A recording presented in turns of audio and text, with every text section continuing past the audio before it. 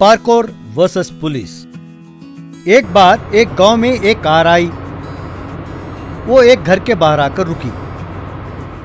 उसमें से एक एसआई अपने परिवार के साथ उतरा। उसके पत्नी और बेटा भी था। बाद में एसआई थाना पहुँचा। जानकी राम, जानते हो तुम्हारा यहाँ तबादला क्यों कराया है? इस गाँव में दिन रात चोरियाँ हो रही हैं। चोर एक ही है, पर सुना है कि वो घर, दीवार सब फांदता हुआ तेज़ी से गायब हो जाता है। उसे किसी तरह पकड़ना होगा। जानकी राम ने ठीक है कहकर एसपी को सल्यूट किया। जानकी राम के बेटे का नाम था पार्थो। वो एक दिन स्कूल जा रहा था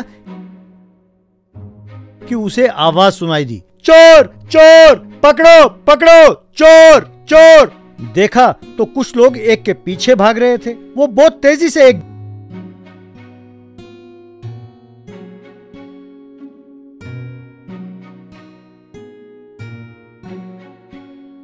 दीवार पर चढ़ा, कूदकर लौटते हुए फिर उठा, भागा और फरार हो गया। लोग दीवार तक आकर उसे चढ़ने की कोशिश करते हुए, चोर चोर, पकड़ो पकड़ो, कहकर चिल्ला रहे थे।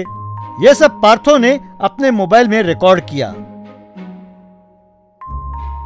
बाद में घर पर उसने अपने पिताजी को वो सब दिखाया।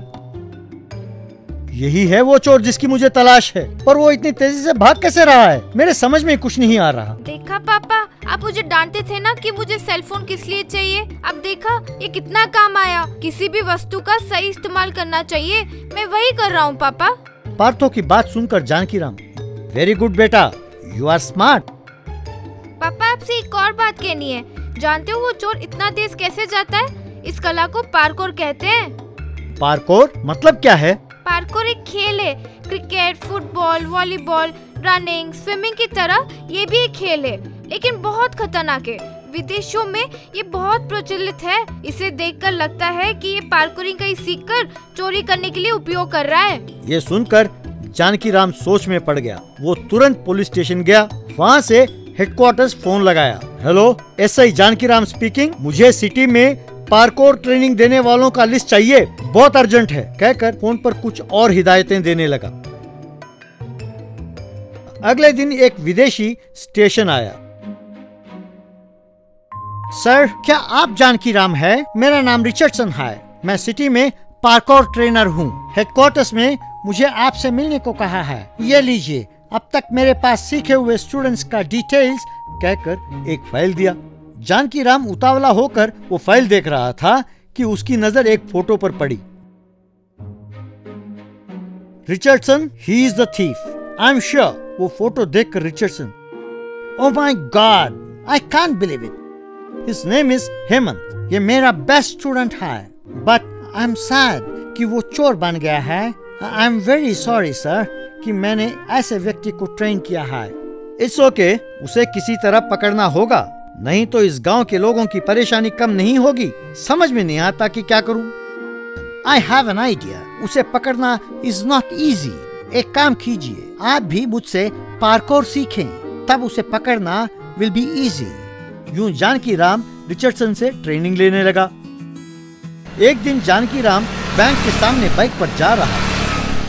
तभी बैंक में चोरी करके हेमंत तेज़ी से भाग रहा था। चोर! चोर! चिल्लाते हुए उसके पीछे भाग रहे थे।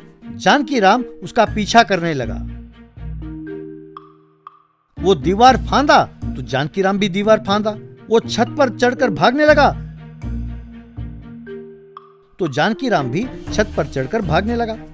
यूँ उसका पीछा करने लगा।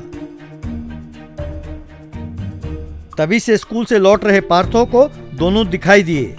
तब उसने अपने हाथ में पकड़े केले के छिलके को फेंका। चोर ने उस पर पैर रखा और फिसल कर गिर गया। जानकी राम ने हेमंत को पकड़ लिया। गाँव वालों ने आकर हेमंत की खूब धुनाई की। रुकिए रुकिए, शांत हो जाइए, पुलिस को अपना काम करने दें। क्यों हेमंत? शौक के लिए सीखे कला को यूँ गलत इस्तेमाल करते हो। शर्म नहीं आती? चलो पुलिस स्टेशन। यूँ हेमंत गिरफ़्तार हुआ। जानकी राम को एसपी ने मेडल से सम्मानित किया। तो जो भी कला हम सीखें, उसे चार लोगों को सिखाना चाहिए, उसे समाज के हित के लिए प्रयोग करना चाहिए, पर उसे गलत काम के लिए प्रयोग करना पाप है। गलती करेंगे तो सजा तो मिलेगी ही। कैसी है ये कहानी? जेसीबी, एक गाँव में पप्पू नाम का एक मोटा व्यक्ति रहता था। उसके पिताजी का नाम था दयानंद। उसकी बहन थी चांदनी। चांदनी की शादी की उम्र हो चली थी। दयानंद के पास एक जेसीबी था। उस जेसीबी से पत्थर हटाना, मिट्टी खोदना, ऐसे बहुत सारे काम करके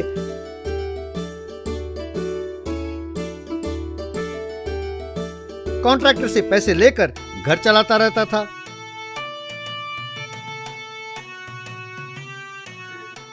पप्पू कोई भी काम नहीं करता, पर डट कर खाता था। दिन रात सोता भी रहता था, ऊपर से दिन में नींद में भी खाने के ही सपने देखता रहता था और उसके लिए बेचैन रहता था। एक दिन दिन में सोते हुए पप्पू नींद में, दो चाहिए, एक बस नहीं होगा, भैया पैसे हैं, पहले दो तो सही, बोला तो है, समझ में नहीं आता, पहले दो देना, कह तो रहा हूँ कि एक काफ़ी नहीं है। ये देख कर ये नींद में भी बेचैन रहता है। ये क्या? दो दो की रत लगा रखी है। उसे सपने में भी चिकन और मटन के अलावा और कुछ नहीं आता है। ठहरो, अभी पता चलेगा कि उसने सपने में क्या देखा है। कहकर उसके मुँह में पानी फेंका, पप्पू हड़बड़ा कर उठा। तुम ये दो दो क्या कह रहे थे? क्या है वो? वो वो सपना देखा कि मैं होटल में जा रहा हूँ। वो मुझे एक चिकन बिरयानी दे रहा था। मैंने उसे दो मांगा। पर बहुत मिन्नतें करने पर भी वो दो नहीं दे रहा था। इसीलिए मुझे गुस्सा आया। पर ये क्या माँ? तुम तो बनाकर देती नहीं, सपने में भी खाने नहीं देती। हट कहकर फिर सो गया। एक दिन दयानंद, बेटा पप्पू, मेरी उम्र हो गई है। अब मैं रिटायरमेंट लेता हूँ। अपने जेसीबी को, तुम ही को चलाकर परिवार की देखभाल करना होगा। कॉन्ट्रैक्टर को बड़ी मुश्किल से मनाया है। चांदनी की शादी की ज़िम्मेदारी भी अब तुम्हारी है। अब तुम मना मत करना बेटे। पप्पू ने मन मार कर सहमति दे दी। पप्पू अगले दिन जेसीबी लेकर कॉन्ट्रैक्टर के पास गया। अरे आओ भाई, आओ पप्पू, तुम्हारे पिताजी तुम्हारी खूब तारीफ़ कर रहे थे। जाओ, उन पत्थरों को हटाकर उस एरिया को साफ़ करो। पप्पू जेसीबी से उस एरिया को साफ़ करने लगा। दोपहर हुई तो बहुत भूख लगी। तो वो जो घर से खाना लाया था, उसे खाया। पप्पू अपने आप से, खाने के बाद मुझे नींद आती है। अब काम के समय सोना तो गलत है, पर यदि मैं दो घंटे नहीं सोया तो मेरी बॉडी सेट नहीं होगी। कोई उपाय सोचना होगा? अरे हाँ आइडिया! जेसीबी बकेट को बहुत ऊपर उठाया, फिर उस पर चढ़कर इधर उधर देखा और उसमें लेटकर सो गया। शाम को कॉन्ट्रैक्टर के पास आया। क्यों भाई पप्पू? दोपहर से दिखाई नहीं दिए। कहाँ गए? मैं तुम्हारे नींद के बारे में सब जानता हूँ। ऐसे हरकतें करोगे तो तुम्हें नौकरी से निकाल दूँगा। याद रखना। अरे ऐसे बात नहीं है, सर। मैं सोया नहीं। मुझे नींद आने लगी तो मैं चाय पीने चला गया था, बस। शायद आपने उस समय देखा होगा। मेरा विश्वास करें, एक दिन पप्पू यूँ ही जेसीबी पर सो रहा था।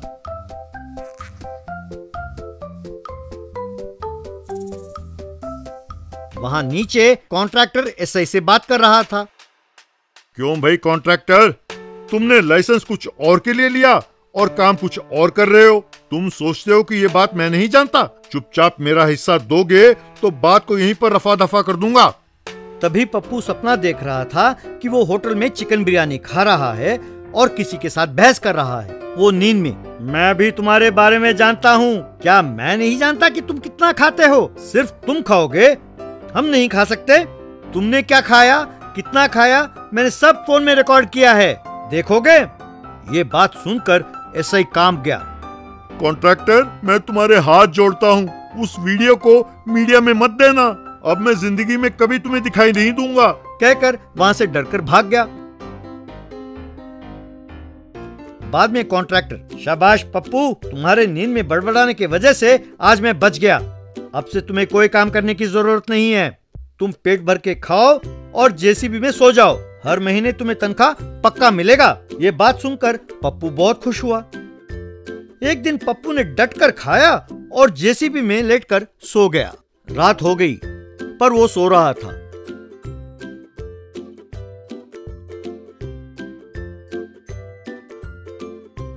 तभी वहाँ एक चोरों का गिरोह सोने के साथ आई।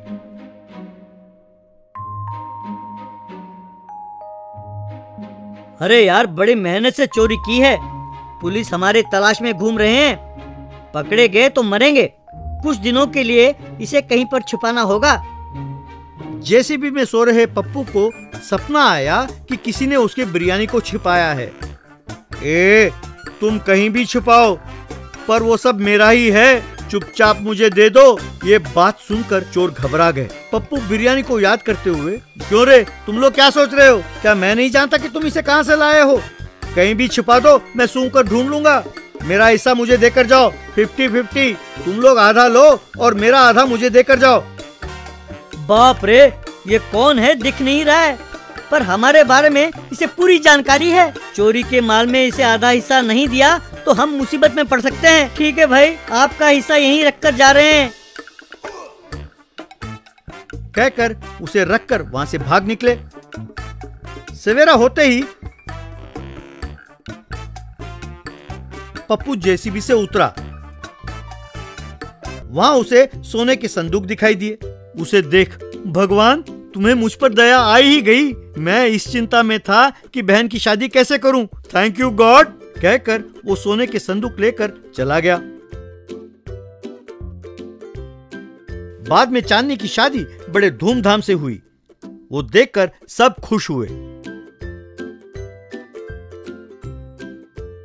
तो कभी कभी किसी की कमज़ोरी उसका बल भी बन सकता है। कैसी लगी ये कहानी?